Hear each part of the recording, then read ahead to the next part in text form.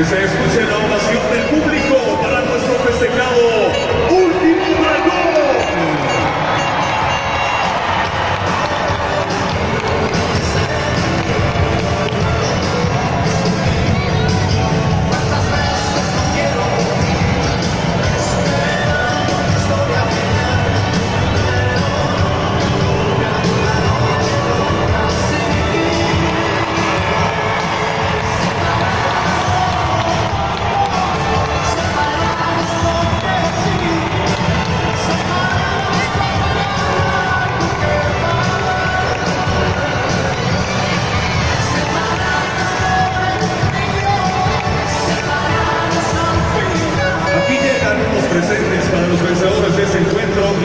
su mucho al directivo de Panasonic, señor Arayama, para la entrega de estos regalos.